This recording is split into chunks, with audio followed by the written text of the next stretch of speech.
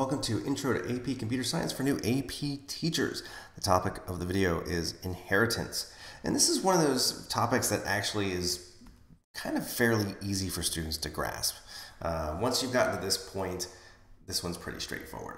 So in this video, I'll talk about what is inheritance. Uh, the example I'll use is a person, uh, like a student is also a person, and a teacher is also a person.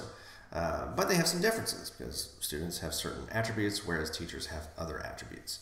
Uh, talk about the actual coding of inheritance, so using the extends keyword and the super method.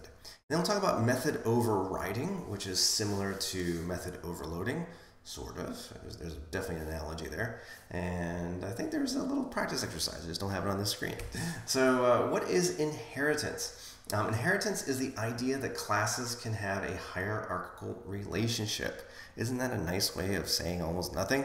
Um, so in this relationship, there is a superclass and a subclass.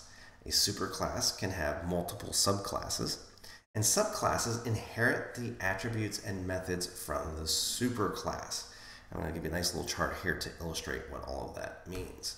So you'll see here we've got a superclass called person and it has two attributes, string name and int age.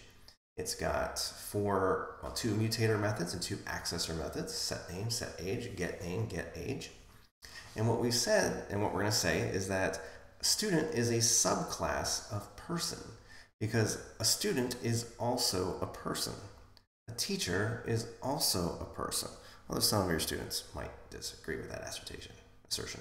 Um, so then the student has an attribute that the person doesn't. So a student is in a certain grade, so grade 9, grade 10, grade 11, grade 12, for example. And we have our setter and getter for that attribute.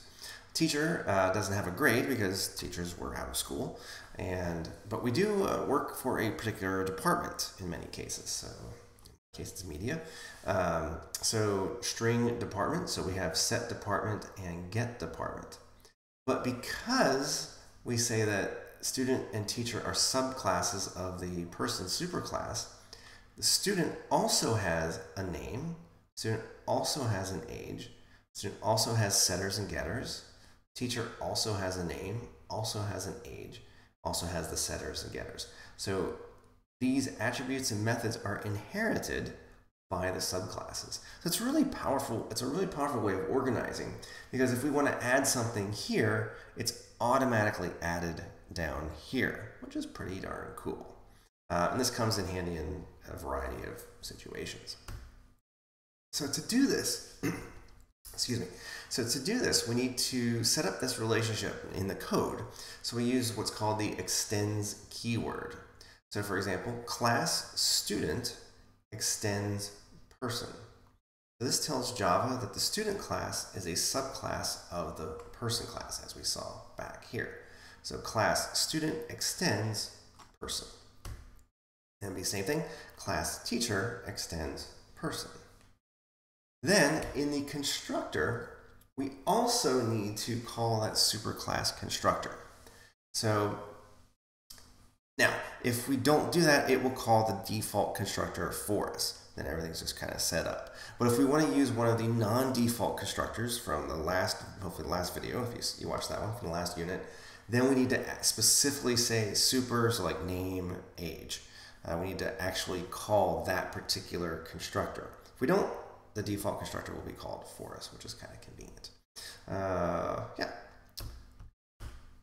Method overriding. This is very similar to overloading. So if you recall, in the case of overloading, we had the same method but different arguments. And based on the signature, it would call that particular method. So this is similar, except in this case, the method and signature is the same, but the method is in a different class.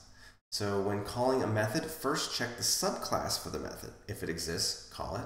If not, check the superclass and we call that one instead. So let me go back to my little chart here. So if this had like, you know, say something and, and the student says, hey, what's up? And this says say something, you know, hey, do your homework. And this says say something, a person might just say hi. So if you're a student, it'll check here for that method first. If it doesn't find it, it'll check here. And again, this is explained in the book in, in detail. Um, so the introductory exercise. So explain the idea of inheritance. And I would draw that little chart on the board or you know show them that slide. Uh, and ask the students to come up with their own examples. They can do this in pairs. And then just write this on a piece of paper.